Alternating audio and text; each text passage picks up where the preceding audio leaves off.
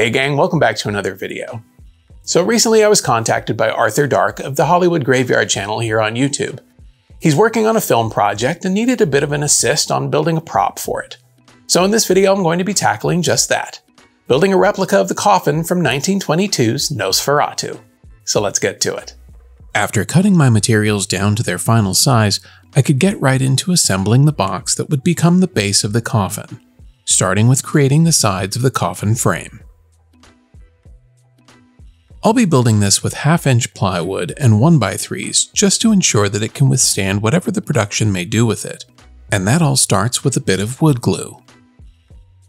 Each piece of the frame will get glued and clamped in place, then I can flip over the panel and secure it with some 1-inch screws.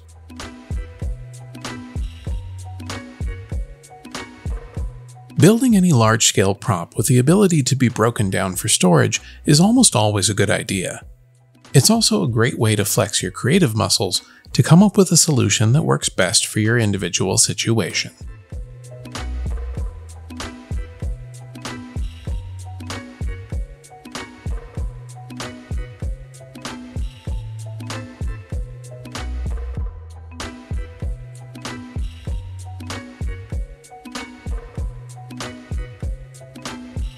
Once the sides are assembled, I can shift my attention to the front and back panels.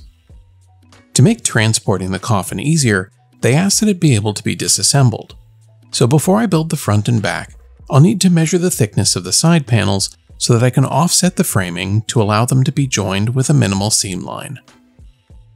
And after I take my measurement, I can mark off my plywood, scribe a guideline, and then get to gluing everything in place.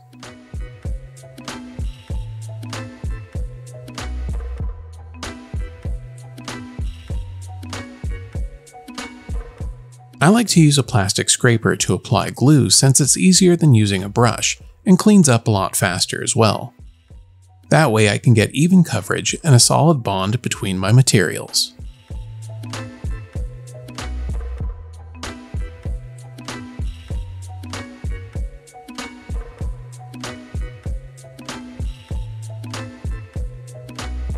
A few screws to keep everything in place, and then I can add in some angle brackets.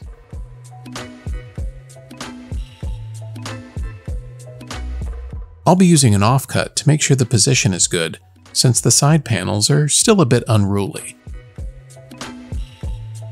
These angle brackets will allow for the crew to assemble and disassemble the frame to make for easy transport, and will provide rigidity to the box. And after a quick assembly of the box off camera, it's time to correct any alignment issues I may have by giving it a quick pass with my belt sander.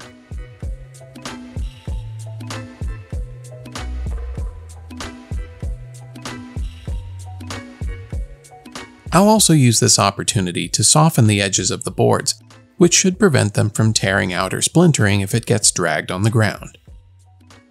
Now comes the fun part, skinning the box with 1-inch XPS insulation foam.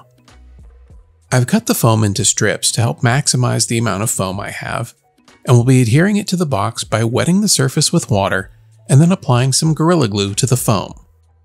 The water here is really important since the glue is water activated.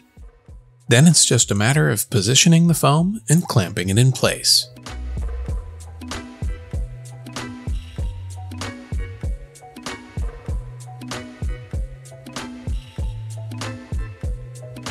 Anywhere that there's an overlap or just too much foam, I'll use a hot knife to trim off the excess. You could use a variety of tools for this step. I just like using this hot wire Foam Factory tool because it's a lot less messy than a saw. As I'm adding the foam, I need to keep track of my edges since the box needs to be disassembled, and I want to try and hide the seam as good as possible. So I'm alternating my layers of foam, which should help to minimize or at least downplay the seam, all while making sure not to glue the sides to the front or back on accident. And for any areas where a clamp won't reach, I like to use a bit of painter's tape as insurance to help keep everything in alignment. I'll repeat these steps, wetting down the surfaces, applying glue, attaching it to the box, and clamping until I've built up the overall shape of the coffin. Then I'll remove any excess foam and clean up the edges with a small rasp and a palm sander as needed.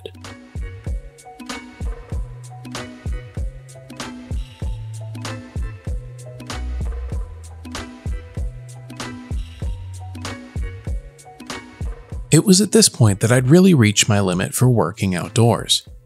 The extreme heat had finally done me in. Hey, remember when uh, I was complaining about the rain and all the cold weather we were having? Well, now it looks like the off switch is broken on the sun, and it's becoming impossible to work outside, especially considering I've got this this big thing cooking, literally. Help. All complaining aside, the summer weather had really kicked into high gear and I had to shift my build times to early morning, which meant no power tools and being much quieter. But I was able to glue on the rest of the lower section, which will eventually be hand shaped, and install the top trim. And that brings us up to date on this build. Back to you in the studio, Derek. Thanks, Derek.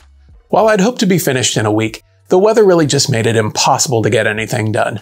But thankfully, there's supposed to be a break in the weather, and I'll be able to wrap this build up in next week's video.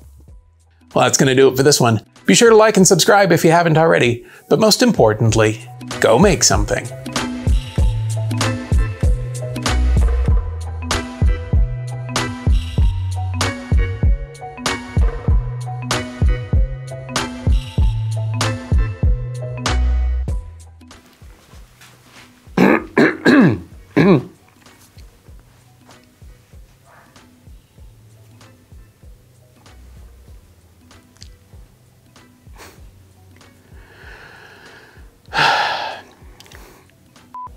Hey gang, welcome back to uh, Balls. So recently I was contacted by fellow creator Arthur. Uh, hell. He's working on a follow-up to the 1922 Dracula. A replica of the 1922 Nosferatu movie, Orlok's Coffin. Nope. Thanks, Derek. While I hope to have done. Come on. The weather really just made it impossible to complete. Uh, Thanks, Derek. While I'd hoped to be built. Oh. Ah. oh no, I don't know. But thankfully, there's supposed to be a break in the weather next week, and I'll be able. Oh, come on.